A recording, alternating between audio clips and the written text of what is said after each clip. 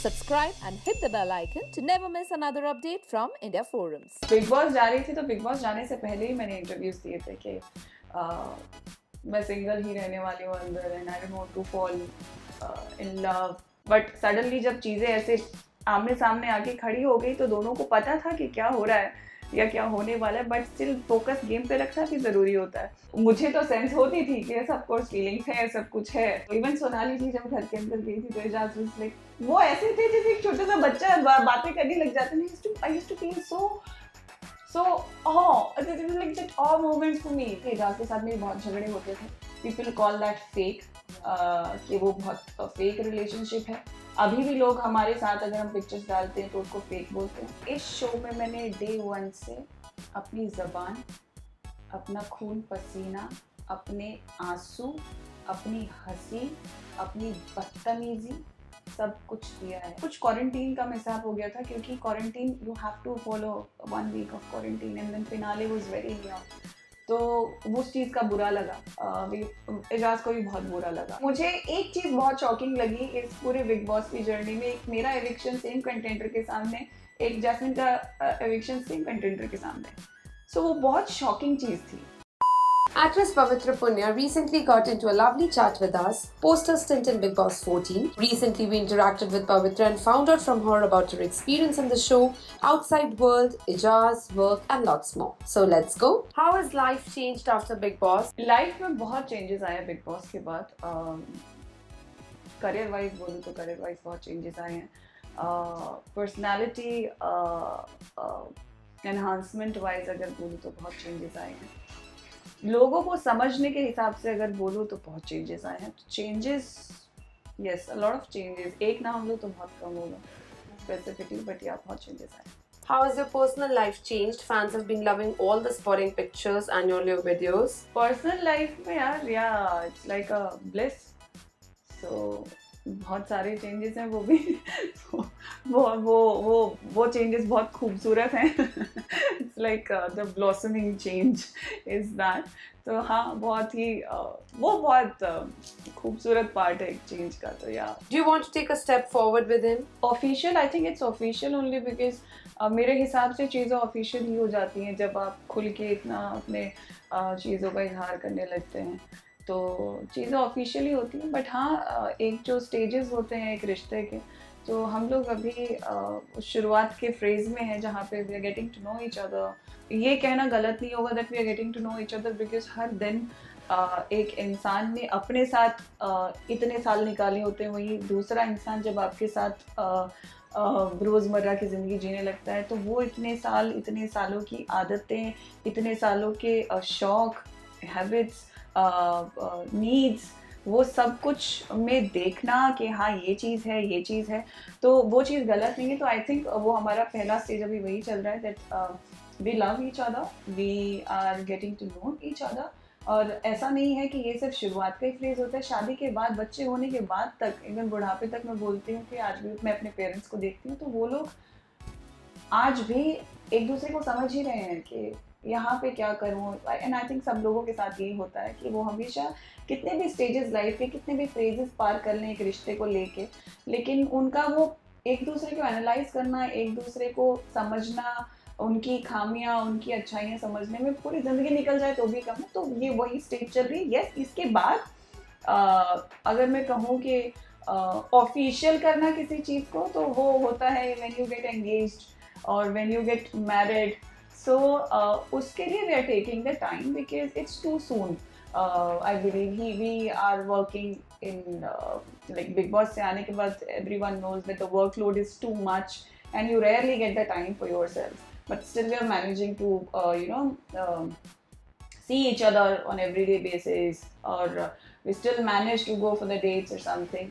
तो हम लोग फिर भी बहुत मैनेज करके चल रहे हैं। तो वो चीज़ अभी शादी के बारे में सोचना बहुत प्रेशराइजिंग चीज़ होगी। तो हमें just want to focus on our career right now and then थोड़ा सा वो इस चीज़ को privacy because we believe in नज़र बहुत लगती है रिलेशनशिप को सीरियसली सही में ऐसा कुछ होगा भी ना तो हम लोग बताएँगे नहीं सरप्राइज़ देंगे। We will not even tell you any भनक भी नहीं लगने देंगे कि कुछ शादी वादी की चीज़ चल रही है बस इतना बोल सकती हूँ। Uh, पर हाँ जो भी होगा सरप्राइजिंगली होगा जब भी होगा बट होपफुली अच्छे से होगा Do you think you would find a partner in the house? नहीं कभी नहीं सोचा था। बिग बॉस जा रही थी तो बिग बॉस जाने से पहले ही मैंने इंटरव्यूज़ दिए थे कि uh, मैं सिंगल ही रहने वाली हूँ अंदर and I don't want to fall in love in specially in Bigg Boss क्योंकि वहाँ पता ही नहीं चलता इंसानों का कि कोई गेम uh, खेल रहा है कि नहीं खेल रहा है like is is anything happening with the game like is everything okay so वो एक क्वेश्चन मार्क हमेशा बना रहता है जो मेरे साथ भी हुआ था मैं कह के गई थी कि मैं I won't fall in love लेकिन इवेंचुअली एक हफ़्ते के अंदर ही things twisted and I was falling from the cliff. and then uh, that's it. It's now here we are. सोचा नहीं था बट uh, फिर वही वाली चीज़ के जो बाहर से सोच के गई थी, क्योंकि ये नहीं पता रहता कि सामने वाला इंसान गेम खेल रहा है कि क्या खेल रहा है। और मैं बहुत ही बेपाक लड़की हूँ। मैं मैं मुँह पे बोलती हूँ, मैं स्ट्रेट फॉरवर्ड बात करती हूँ, मैं कभी भी इधर उधर बात नहीं करूँगी। तो मैं और मैं ऐसे भी नहीं हूँ कि मैं चुप रह सकूँ। मैं चुप रहने वाली लड़की नहीं हूँ। कुछ लोग होते हैं I really hats off to those people जो सोचते हैं किसी के बारे में कुछ या फिर उनके मन में कुछ होता है कहने के लिए लेकिन फिर वो दबा के रखते हैं। uh, मैं वैसी नहीं हूँ मैं नहीं कर सकती मेरे अंदर वो हुनर बिल्कुल नहीं है। uh, तो मेरे मन में जो भी होता है मैं बोल देती हूँ।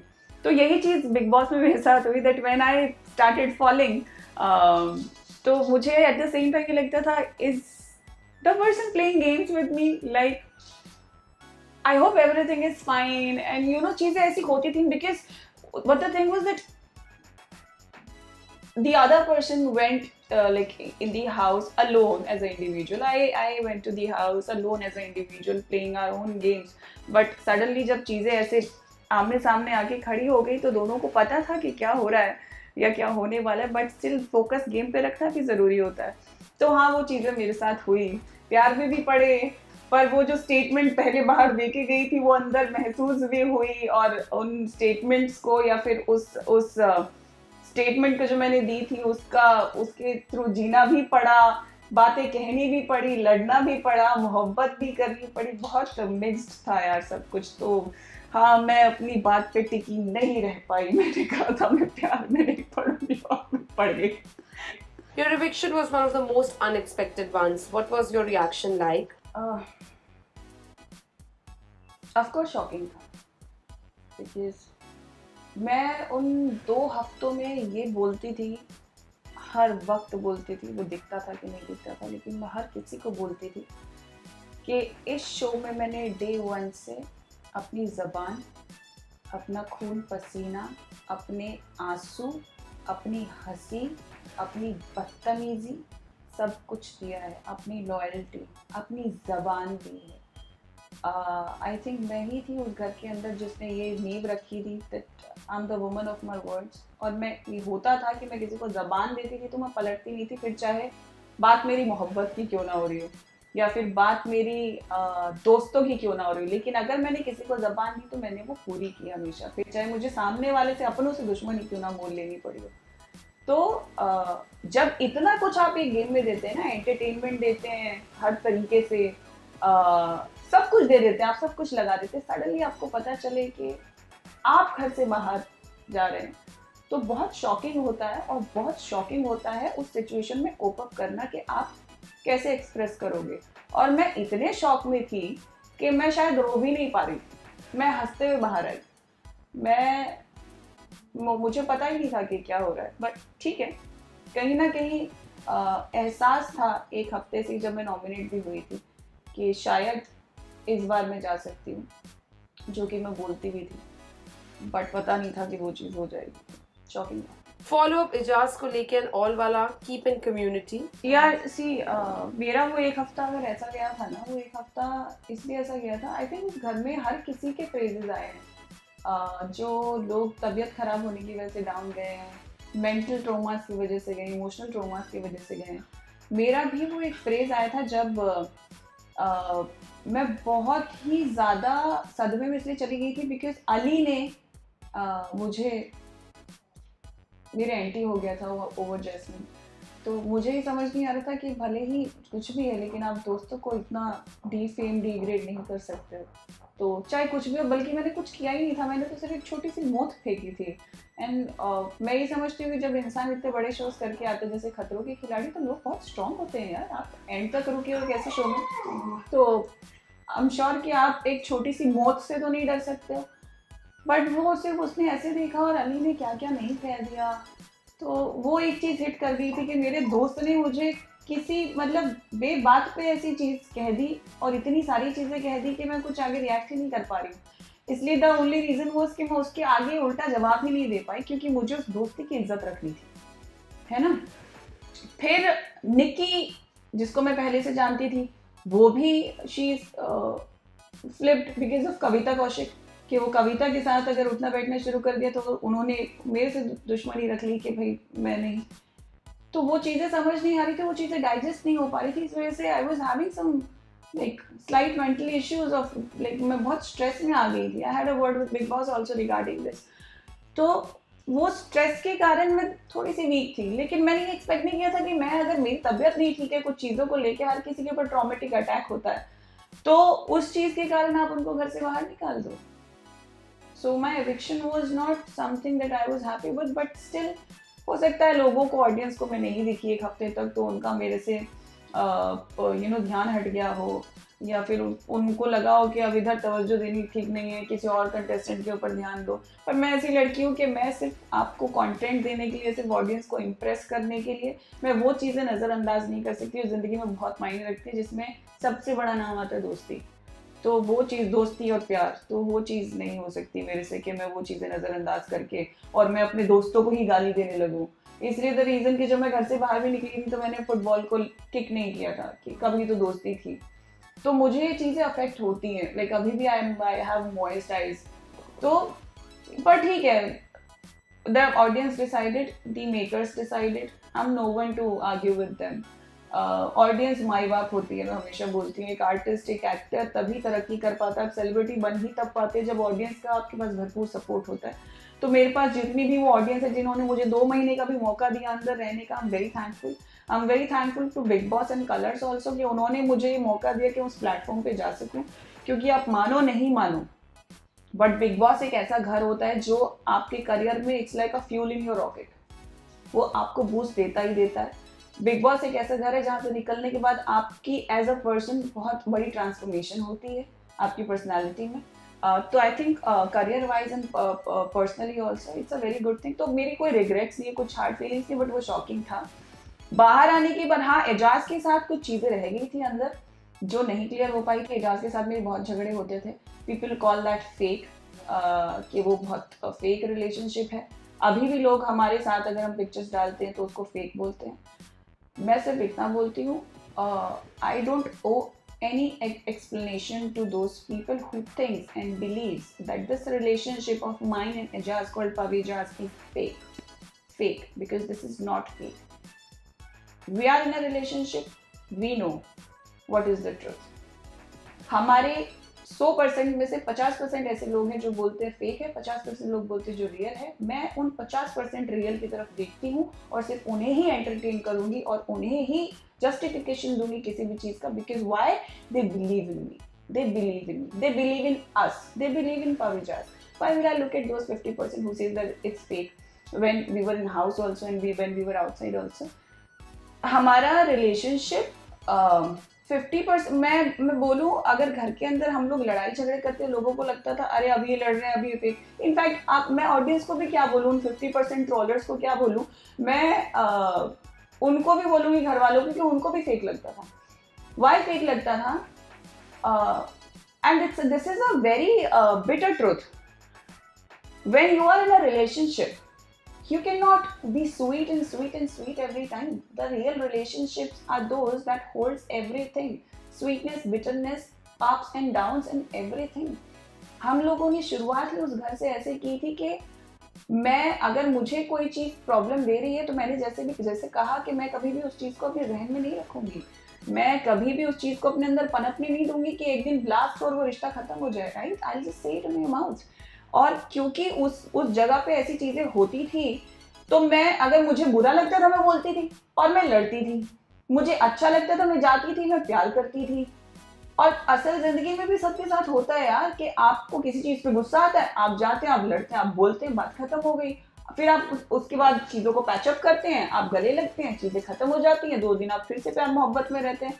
तो आई थिंक लाइफ इज़ दिन दिन होता है रात होती है यार सर्दी है गर्मी है इट्स लाइक ये तो सीजनल है चीज़ ये तो कुदरती चीज़ है। आप कुदरती चीज़ को कैसे हटा सकते हो? तो इंसान सिर्फ़ प्यार मोहब्बत के लिए नहीं बना होता है। इंसान के अंदर नेगेटिविटी भी होती है गुस्सा भी होता है प्यार भी होता है। इट्स लाइक अ बैलेंस तो हम लोग अगर उस घर के अंदर वैसे जी रहे थे तो इसमें इसमें फेक बोलने की प्रॉब्लम ही नहीं है। इसमें फेक बोलने वाली बात ही नहीं आती है कहीं पे। तो it was not fake it was never fake जो चीज़ें अधूरी रह गई थी आ, मुझे आ, जब हाँ इनफैक्ट चैलेंजर्स भी घर के अंदर गए थे राखी अंदर गई विकास अंदर गए मनु अंदर गया। तो तीनों के जाने से पहले फ़ोन आए थे मेरे पास बिकॉज़ दे वर एक्सपेक्टिंग कि मैं शायद वापस से री एंटर करूँगी आई थिंक ऑडियंस को भी ये लग रहा था कि मैं शायद वापस से घर में जाने वाली हूँ या I mean some secret room तो uh, मुझे भी एक्चुअली लग रहा था कि मैं वापस जाऊँगी बट अनफॉर्चुनेटली सो राखी का भी आया था कॉल uh, विकास का भी आया था मनु का भी आया था। लाइक कुछ मैसेज देना है इसलिए हाँ प्लीज़ उनको बोलिए I am missing you lot and I am waiting outside तो ये लोग जाके बोलते थे बट उनको शायद विश्वास नहीं होता था जब ही when he came out he told me that in fact जब मैं घर के अंदर भी गई थी for the which they call the confession confession day तो उस दिन भी वो मुझे बोल रहे थे कि, मुझे लगा ये लोग मज़ाक कर रहे हैं, कोई भी आ रहा है, मुझे बोल रहा है, वो वेट कर रही है वेट कर रहा है, वो वेट कर रही है। तो मैं कैसे मानू वेट कर रही हूँ, क्या वेट कर रही हूँ समझ नहीं आ रहा था। तो वो गिले शिकवे एक्चुअली हमारे घर के अंदर ही रह गए थे। एजाज ने कभी भी मेरी किसी चीज़ को घर के अंदर दिल पे नहीं लिया। एजाज को ये पता होता था और एजाज इतना मुझे समझ गए थे कि मैं जो भी बोलती हूँ, मैं मुँह पर हूँ मैं मैं ऐसे ही बोलती मुझे बुरा लगा तो मैं बोलूँगी, मैं मैं ऐसे वाला हिसाब तो एजाज उस चीज़ को समझ गए थे। तो एजाज उस चीज़ को दिल पे नहीं लगाते थे। एजाज को भी पता था कि अ गेम जो अंदर चल रहा है। तो हर किसी के, वहाँ पे हर दिन एक नया दिन होता था, हर दिन कुछ नए बवाल होते, हर दिन एक नया झगड़ा होता था। उस चीज़ में जो एजाज की और मेरी इंटरनल जो सोल टू सोल बॉन्डिंग हो चुकी थी, तब तक वो जो कनेक्ट था, वो हम नहीं तोड़ सकते ना। लड़ाई झगड़े तो चलते रहते हैं। तो एजाज के साथ कुछ क्लैरिफाई ऐसा करने की ज़रूरत भी नहीं पड़ी मैंने एजाज की mouth and trust me it was very unexpected क्योंकि मुझे लगा नहीं था कि मैं वापस से एजाज से मिलूँगी वेन आई केम आउट मुझे लगा कि यू you नो know, वही वाली चीज़ जो मैं घर के अंदर घुसने से पहले सोच के गई थी तो गेम होता है या सामने वाले की फीलिंग्स हो नहीं हो यू नेवर नो तो मुझे तो सेंस होती थी कि सब कोर्स फीलिंग्स है सब कुछ है. लेकिन मुझे ये नहीं पता था कि बाहर आने के बाद वो मुझसे मिलेंगे कि नहीं मिलेंगे. लेकिन when I entered inside and when I like मेरे निकलने के बाद जैसे मैंने देखा उनको the way he use to talk to others regarding me या दूसरे लोगों से बात करते थे। तो एवरी डे कुछ ज़िक्र होता ही रहता था मेरा घर के अंदर स्पेशली uh, एजाज तो इवन सोनाली जी जब घर के अंदर गई थी तो एजाज वाज लाइक वो ऐसे थे जैसे एक छोटा सा बच्चा बा, बातें करने लग जाते हैं I used to feel so so oh it was like that awe moment for me so when these people called and I went inside it was like let's see it's it's actually that uh, final day the day let's see what is going to happen and uh, confessed and things are fine now. Like I was very happy when Ijaz came out. Ijaz was doing really great in the show, but the commitment took over. How disappointed were you? Ijaz का बोलूँ shocking था of course लेकिन वो commitment थी Ejaz is a very committed person he he when if he is giving the commitment he has to fulfil it तो एजाज ने बोला था कि उनका काम है उनकी web series in fact when I was in house he told me that uh, because earlier when our show started it was supposed to end up in December if I'm not wrong. But then but then it got extended तो एजाज ने अपने हिसाब से सही dates दी थी जो भी दी थी। Uh, तो बहुत शॉकिंग लगा वो uh, कि एजाज वापस नहीं जा पाए। In fact it finished up his shoot well early only I am not wrong तो शायद पहले ख़त्म हो गया था। बट कुछ क्वारंटीन का मिसाब हो गया था क्योंकि quarantine you have to follow one week of quarantine and then finale was very near तो उस चीज़ का बुरा लगा। एजाज को भी बहुत बुरा लगा कि वो नहीं जा पाए अंदर।